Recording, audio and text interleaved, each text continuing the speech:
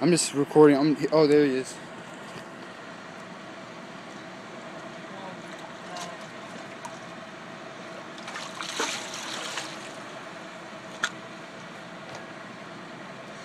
That is crazy. I'm telling you, that is. I I think that's a Florida record. Do it with a net? Like you know, well, you know, like get it in the net. I'm I'm I, you know I'm really tempted. Like when it comes back, Yeah, another one. I'm really. It could be. I'm really tempted on jumping on it. Really? I'm watching. You're kidding. He keeps coming back. He wants that fish. Oh, he's right here. He's right here. Right here.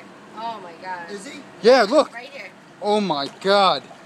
I'm telling you, he just he's just chilling under the boat. Just got Chilling. both of those heads. I'm telling you, that is a Florida record. you said the same thing. You guys both said the same thing. I heard I heard L barking. One pound off the.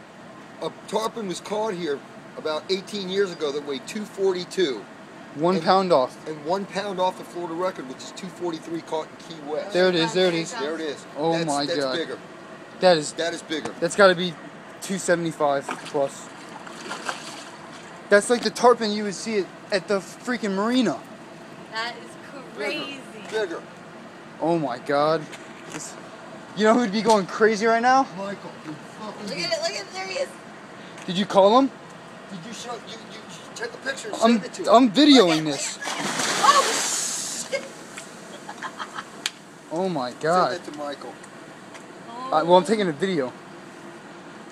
that was crazy. That's huge. We have manatees roll up here. We hand feed them romaine lettuce. But this is crazy. Oh my God. He'll remember this. He will be back here. They know where food comes. You, you know who'd be going crazy if Ben was here? I no, but um tonight uh, we'll catch Melvin.